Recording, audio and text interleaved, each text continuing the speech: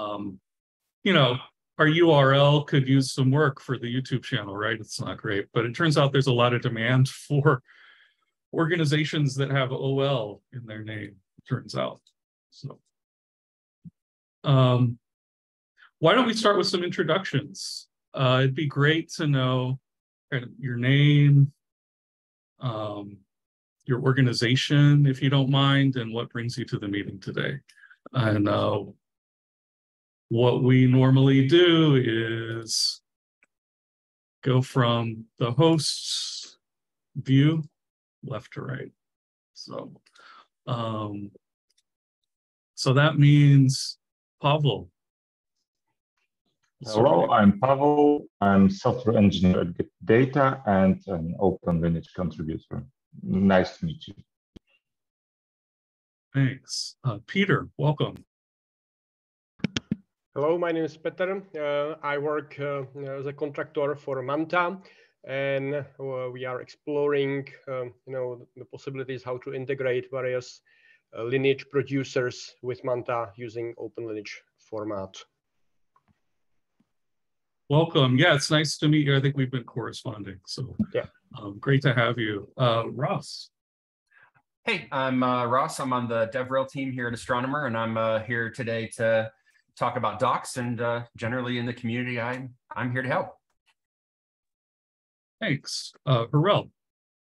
Hi, everyone. Um, I'm new to the astronomer team. I'm uh, engineering lead on the observability products at Astronomer. Really curious to see what people are doing with Open Lineage and, and get to know this community a little better. Welcome. Um, next up is Maciej. Hey, I'm Maciej. I'm software engineer at GetInData, and I have a presentation about custom extractors today. Yeah, we're really looking forward to that. Thanks for coming. Um, next up, Michael Collado. Hey, uh, I'm a staff software engineer at Astronomer, uh, and I'm an Open Lineage contributor and a contributor to Marquez as well. Thanks. Uh, Willie? Uh, yeah, hello everyone. I'm Willie. I'm the co-creator of Marquez, um, Open Lineage committer. I work at Astronomer uh, on the observability team, and I'm here to actually to see Maciej's presentation. I, am so excited. Custom extractors. It's long overdue yeah, for a demo, but yeah. Thank you. Uh, Mandy, Hi everybody, I'm Mandy Chessell. I'm the lead for the Egeria project and so we've got quite an extensive integration with Open Lineage uh, which uh, um, which I created. So that's my interest. I think uh, all the things that you do is, are, are wonderful. So uh, yeah, I, I, I, love listening to your presentations. Wow, thank you. Um, it's great to have you as always. Uh, Minkyu. Hi, uh, I'm Minkyu, and I'm a software developer at Astronomer, part of the observability team. So I am also a contributor to Open Lineage and Marquez. Yeah, good to see you. Thanks. And uh, Sandeep. Yeah, hi everyone. Yeah, my name is Sandeep. Um, I'm product manager at AWS uh, based out of Palo Alto. Um, yeah, I'm responsible for the glue data catalog formation and uh, lineage and investigating the open lineage options for uh, AWS services. Wow, uh, great to have you. Thank you. And um, is there anyone else that I, I kind of got lost in the view up here? So if I, if I didn't call your name, please speak up. Okay. Uh, yeah, so I'm Michael. I coordinate these meetings. I'm uh, on the community team at Astronomer. Um, once again, nice to have you. And uh, if I mispronounce anyone's name today, please don't be shy. Uh, just correct me. Correct me about anything. Uh, I welcome corrections about anything. Okay, uh, let's go back to the slide deck. So, um. Okay. Um, just like to review quickly all our various channels here. If you're not aware, um, we do keep meeting notes. Uh, links to videos, uh, other stuff on our wiki.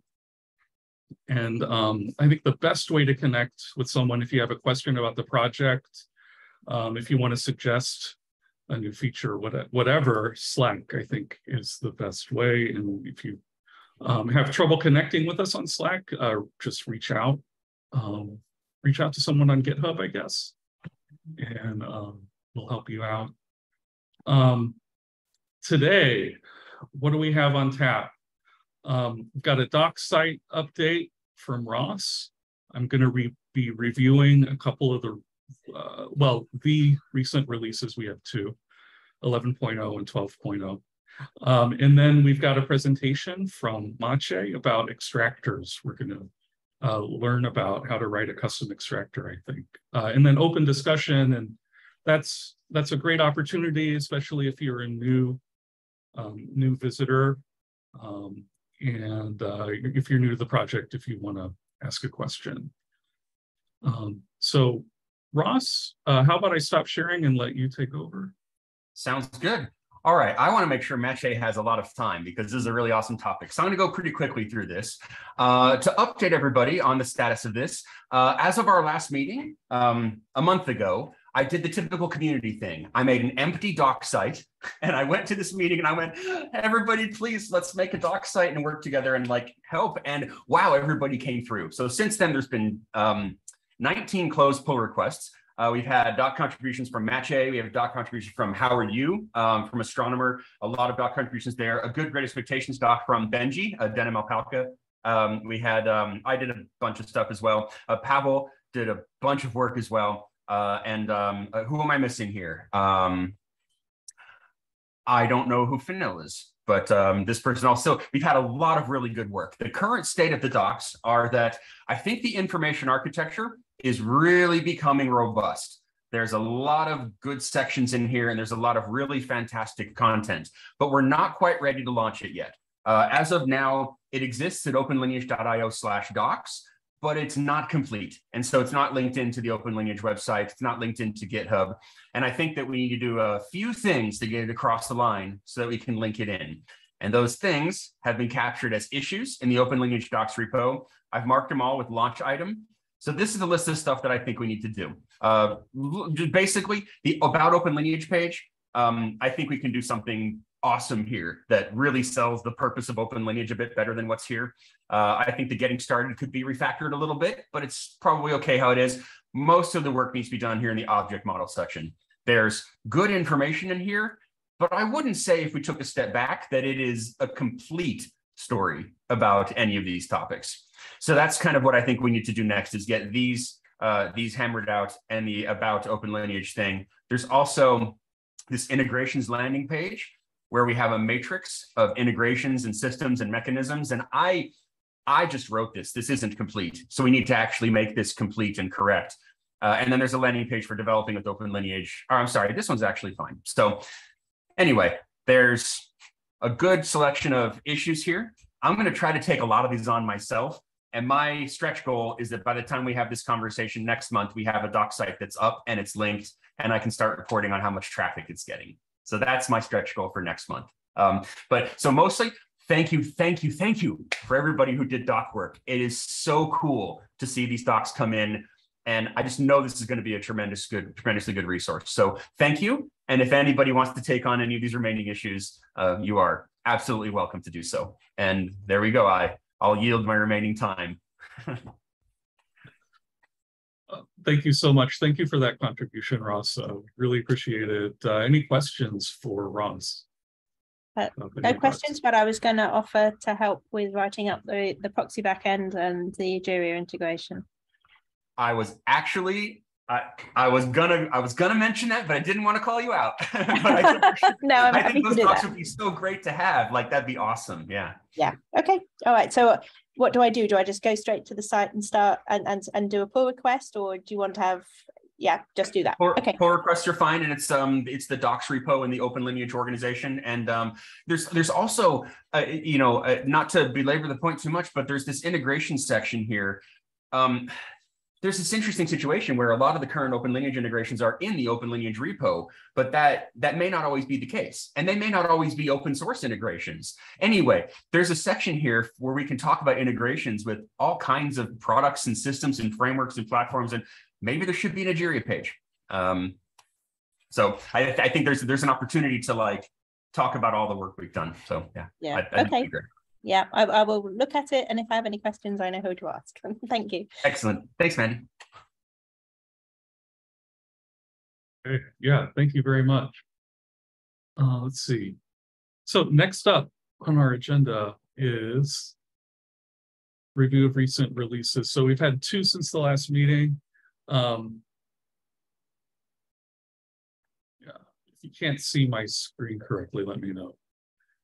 Um, so starting off with 11.0, um, we've added some key features here. We've got an HTTP option to override timeout and properly close connections. That's in the Java library.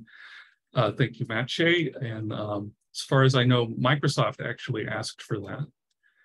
Um, we also added DMT support to the Airflow integration that was new in Airflow uh, 2.3.0, I believe, DMT, uh, which allows for tasks running in parallel. We're just making sure that Open Lineage covers that as well. Um, we added a SQL extractor to the Airflow integration. Uh, as I understand, that was primarily refactoring. Thank you, Jakob, for that. Hey, Michael, mm -hmm. we're still we're seeing your recent releases slide. Is there a slide with the details? Thank you so much. Yeah, sorry. No, I appreciate that. Yeah, this should make a little bit more sense now. okay. Um, last addition here in 11.0, we added a uh, bug checker called PMD to the Java and Spark builds in Circle CI. And that's part of our process with the LFAI and Data Foundation, that incubator program. And we're making progress there and wanted to meet that requirement, in addition to having the help of a bug checker, right? Um, changes in 11.0, uh, when testing uh, extractors in Airflow, we now set the extractor length assertion dynamically. This is a change to testing, of course, from Benji.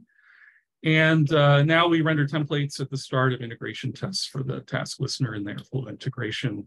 Uh, thank you for that, uh, Maciej, another improvement to our testing. Um, so uh, next release to cover is uh, 12.0. This was a big one. Um, few uh, key additions to talk about.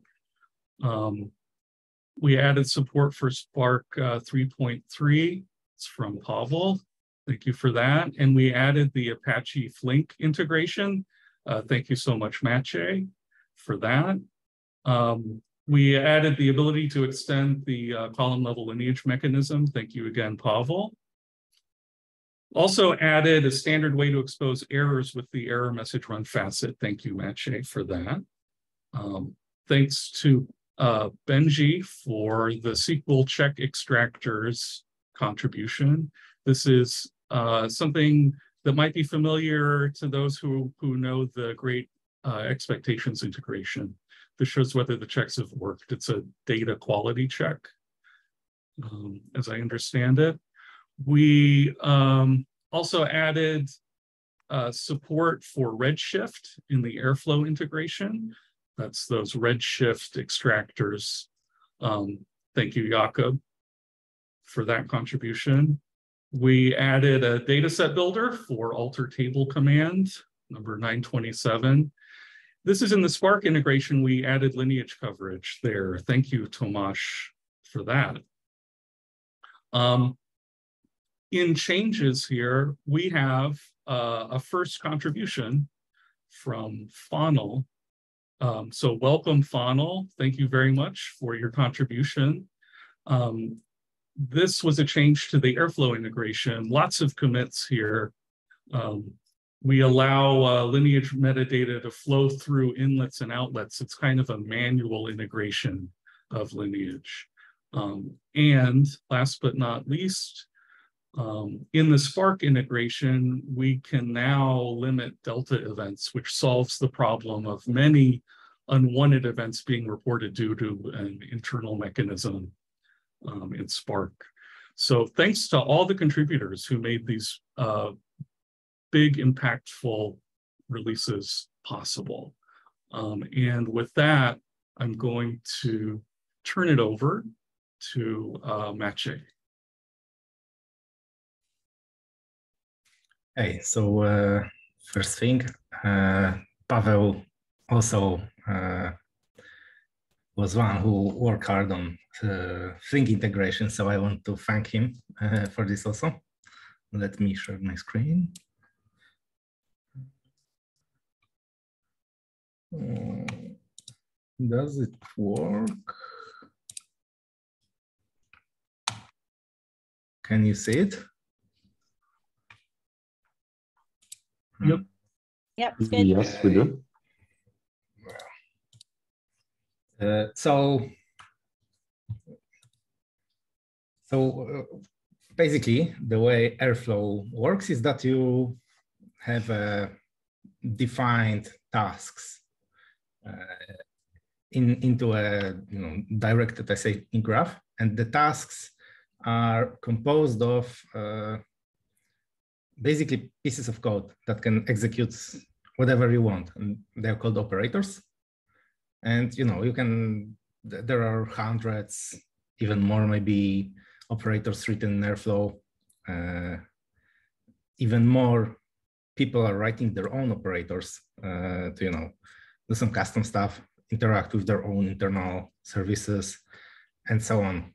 Uh, so previously I've talked uh, how we integrate with Airflow proper uh, how we added interface to Airflow to basically uh, get in a way to extract the data. Now I, I want to tell how we extract this particular pieces of data that actually tell us what the lineage is uh, in more detail. So uh, we have an example of an operator here that you know connects to some database or maybe reuses existing connection and just executes some SQL on the uh, on the database. So if we have something like this, uh, we have a concept called extractors that are just pieces of code that get this uh, operator as their, uh, you know, initial argument, and then expose few methods that uh, extractor author can provide, have, have to provide to make it work. Uh, first is that we need to know what actual operator are you working on. So the class method get operator class names basically returns the names of the operators that this extractor will be uh, executed on. So, you know, we don't work with, uh, you know, Spark extractor on your Python operator. And the second one is the one that actually does all of the work, uh, which is extract and you can do whatever you want here. Basically, you have access to the operator object, which is the actual, you know, uh, executed pieces of, piece of code uh, in the um, in the in the object, and it's up to you to process it in the way that extracts this information. Uh, so here I, you know, I, we have a SQL. I can parse the SQL using parser and then, you know, format it to to fit the piece of data that we want to have. Uh, but you know, this is not all. Uh, some operators have some like runtime information that exists only after the uh, the actual work has been done, and we have a way to uh, to capture it. Basically, uh, we, there is an additional method, extract on complete, uh, that allows you to access the data after it's access the operator after it has been completed. So the extract method is actually executed before the actual execution happens and extract on complete extracts data on complete uh, and allows you to access more runtime info. Uh, so here, here there is some runtime info that the operator provided and we can utilize it to enrich it to provide some for example, uh, some facets like data quality facets, uh, some runtime facets, uh, and some um, operators like BigQuery operate, BigQuery extractor, use this mechanism to provide information about how many rows were affected uh, during the query execution. And I think the same happens for Redshift, for, uh, for Snowflake, probably. Uh, I don't remember exactly. So how does this metadata look that you have to extract? Basically, it matches the structure of, uh, of the uh, open lineage event, but it's kind of flatter, right? Uh, any operator can process amount of inputs outputs and amount of outputs. And it can provide some additional runtime and, and job facets. Uh, for example, the SQL that we capture is actually a property of a SQL job facet. So there is a way to basically uh, add any information that you want to the actual emitted open lineage event. And uh, this is not every everything that would be emitted. Uh, rest of the integration also provides some uh, facets. For example, we attach Airflow uh, Airflow version facet that reports the version of the Airflow uh, despite uh, what you provide here, right? As in, as a, just a like standard feature, not related to extractor. So how do we actually, you know, we've written some code uh, we return this task metadata class. Uh, what do we need to do to expose the, uh, the extractor itself, right? So basically you have to set up uh, environment variable that provides full path to your extractor class. Then in runtime, we will import it and you know basically utilize the get uh, get operator class names method to define uh, whether we should use it uh, when we parse the DAG. So you can, you know, add one extractor, add multiple extractor, and as you see, it's uh, separating them by comma. It's not very pretty when you have a lot of extractors, as you can see in the second example. So the third example, which is something that I think we haven't released yet, or maybe released it in the latest release only, uh, you can just, you know, use this syntax to separate them uh, with uh, new lines, as, as I think it's standard YAML feature, uh, this type of this type of stuff. sorry, something is calling my door.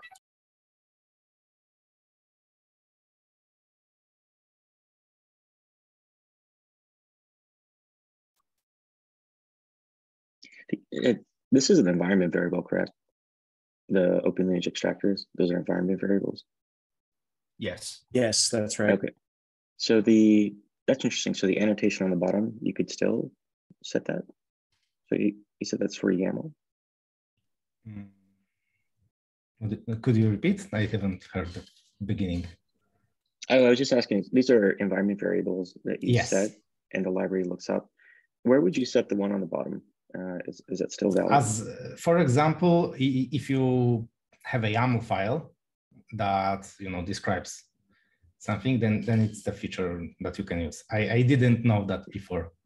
This is something that uh, provided lately after you know uh, as a GitHub issue. You know, uh, somebody created GitHub issue and we added this. I see. So uh, it's like if you have like a Helm chart and you're setting yes. environment variables, you'd be able to use that. Okay. Sorry again.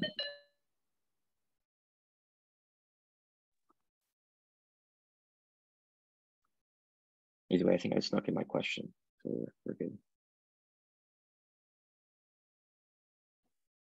Yeah, um, Maciej is very popular this evening. Happy for him. Yeah, should be good now.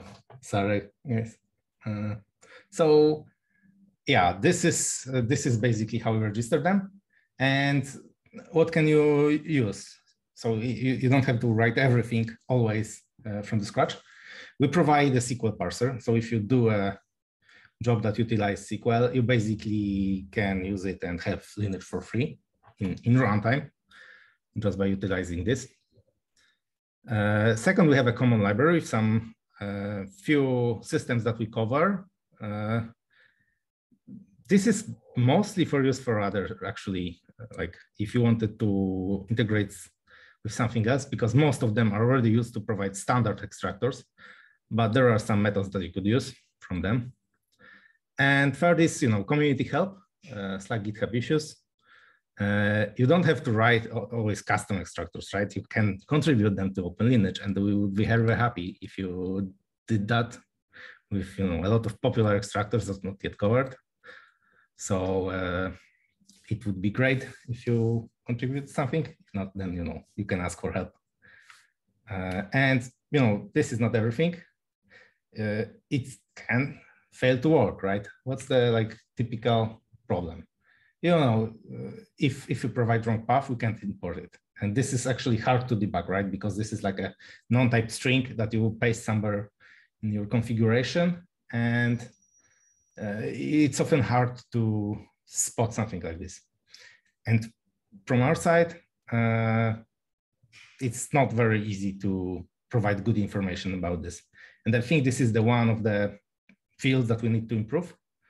Uh, you know, providing more debugging information if you do something like this. Uh, not sure how this would look, but maybe maybe an additional like facet or maybe just just logging, maybe something else. Uh, that's you know if you have an idea, then feel free to share somewhere. Uh, second problem is using imports from Airflow. So you know usually when developing something like that, you can freely import whatever you want, but it's not the case for extractors because you are, uh, we are getting imported like in the middle of Airflow import path. And the way Python works is that it prevents import cycles. So Airflow is in the middle of importing some stuff on its own. It imports our stuff, then goes back to importing the rest of the Airflow. And if you do something like this, so import the DAG, then write your um, class, it basically creates cycle with, with Airflow's own imports. So you, your extractor will fail and you know you will notice that plugin import failed in your uh, in your Airflow UI. So the way to basically uh, work around that is use local imports. Uh, and if you use type checking uh, as we do, then use the typing, type checking uh, variable. And using that, you can have, you know, uh, have your types recognized by MyPy and probably other typing uh, libraries, tools, uh, and also not get in the way of Airflow's own imports. So what's the future for uh, extractors? First, this debuggability, and I think I spelled it wrong, but it's not a very easy word. Uh, second is more, more of a way to cover something else, uh, as I think Python operator is the most popular operator, uh, and it support for it it's not great right now because you can execute arbitrary code. And Airflow is working on AIP44, which is a proposal for having a data aware, uh, having Airflow more data aware. So uh, if if Airflow adds something like this, then we will be very will be uh, you know covering it very soon to utilize this feature to provide uh, provide more coverage. And third is something that might not be done. This is something that we have been um, thinking about uh, for a long time, is if you're using Python operator with hooks, then we probably could extract some info about that.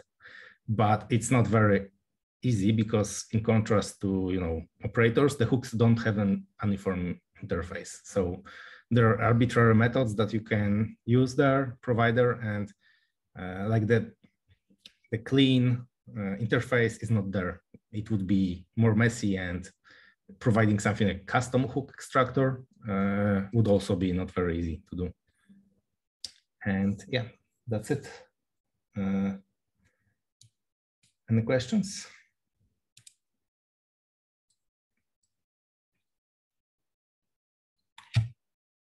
Mm-hmm.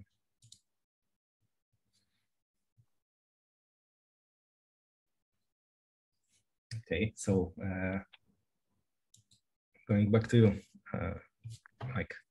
Clearly, you did just an amazingly thorough job of explaining the extractor writing process. Thank you very much.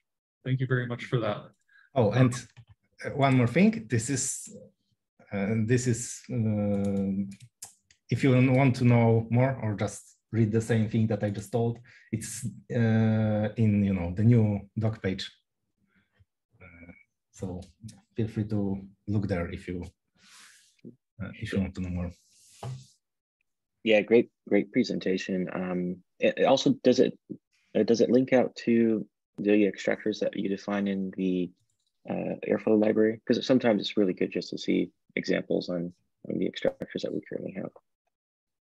Yes, that that's a good uh, know, comment. I, we need to add links to some of the um, cleaner extractors because you know some of them are uh, not that um, pretty to to see. Because, for example, uh, one example, one good example is I think Snowflake, which renamed some methods in hooks. So we have to work around that. And there are kind of things in, in non-custom extractors that don't make them very easy to parse visually. Uh, what happens there?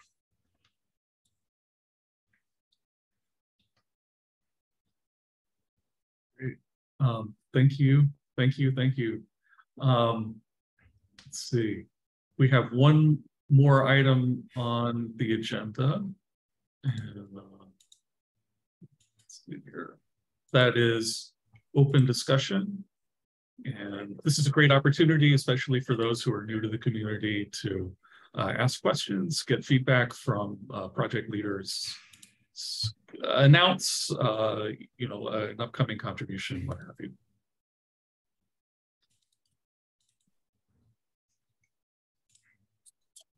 Got a small announcement that I'm presenting on um, both Egeria and Open Lineage at the Open Source Summit in Dublin on the 15th of September. Cool. Yeah. Was it, is that virtual? Would we, yep. anyone be able to listen in? Uh, it is, no, it's face-to-face -face meeting, mm -hmm. but I think they do they do video it. So um, I don't hopefully they make it available to anybody after it. So um, if I can get a link, um, I'll let you see it. I'll, you know, I'll, I'll pass it on.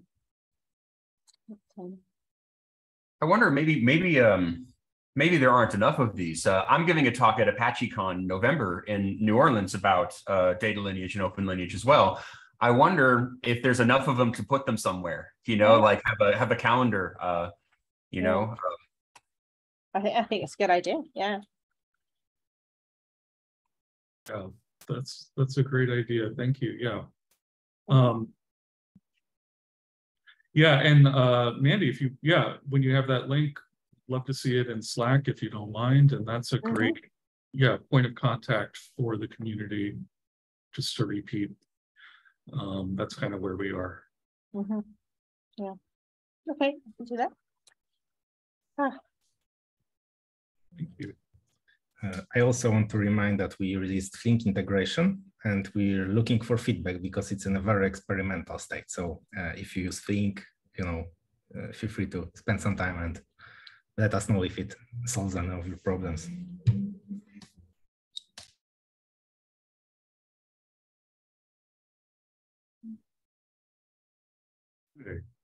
Yeah. Well, I've got one other thing. It's not directly related to open lineage, but it's something that we're doing in the Egeria community, which might be of interest um, for the open lineage community um, in the future. So we're actually running um, a one-day hackathon as part of the open source day for the Grace Hopper celebration, which is a massive conference, half online, um, half in person in Orlando, uh, and it's designed to um, encourage uh, young women into technology.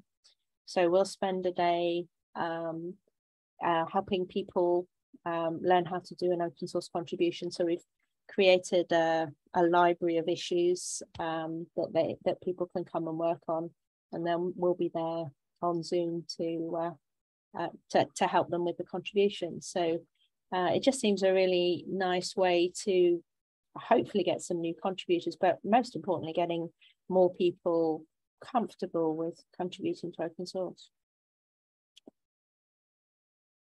That's so, very cool. Yeah, so so so we're officially a featured project, and that means they do quite a lot of publicity for the project. So if um, you want to apply next year, if you think you can get to 30 features that somebody who's quite new to the project. Um, so what we're doing is get we're building a demo um, with lots of little programs that contribute different types of metadata to Egeria, all around sustainability. So it's um, we have a fictitious company and um, they're doing a sustainability drive. So they're interested in knowing where they're, you know, documenting where their factories are and um, how much power they're using and all that sort of thing uh, and they'll use Egeria to do it. So, um, and hopefully that will mean that there's sort of a common theme to what everybody's doing. And it means that we can create nice, simple pieces of work to start with. So maybe there's something that to do with open lineage that is around a theme of, you know, where you need to build these pipelines from different technologies and, and have um, the uh, attendees build build a sort of big demo. I don't know, just thinking off the top of my head. That makes sense. Absolutely, that sounds exciting. Yeah, and, and maybe we could get a head start to next year's one. Um, do we just go on Grace Hopper's site, or what's the best? Uh, yeah, Anita Borg. Yeah, yes. If you go to hmm. to, to, the Anita Borg site, uh, you'll see Open Source Day, and um, yeah, it's actually what I can do is hopefully you can access this because it's a um a, an AI a, you know a Linux Foundation and uh, website. Let me just click uh, the link for you. This is our description of what we're doing. uh, so you can see, and it's got the links to their sites as well. So um, so we're doing that on the 16th. So my presentation to the Open Source Summit is uh, um, on, there we are, that's, that's the link of our description, um, on the 15th and then on the 16th we're doing this, uh, the Open Source Day. Um, so uh, yeah, it's um, the Open Source Day is entirely virtual. So um, you're, you're, very welcome to join and then help, but uh, uh, it, it, doesn't have to be in person. Uh, so I think actually we'll be most of us will be in Dublin when we when we we're running this session. So, um, but uh, it's it's um it's, it's actually from a project point of view, it's been very valuable because uh, we've basically walked through what would a company do if they were using Egeria for sustainability and uh, we found um, enhancements that we can do to Egeria, better, better places where we need to improve our documentation. Um, and we're building test cases that match the work that these um, the contributors will do. So uh, hopefully we'll have flushed out most of the bugs before they try and before they try and use it. Um, so on the whole, I mean, from a project point of view, it's been uh, it's, it's a very valuable exercise.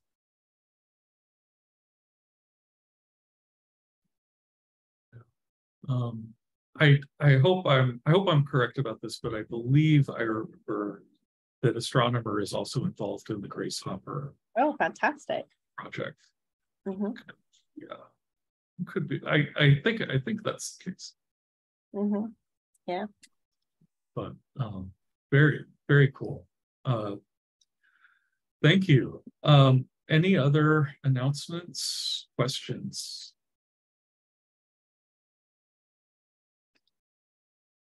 Okay. Well, thank you everyone for coming. Uh, hope to see you next month um, and uh, stay in touch. Uh, looking forward to it. Thanks again for coming. Have a great day. Thanks, everyone. Good meeting. Thanks. Bye. Bye. Bye. Bye. Bye.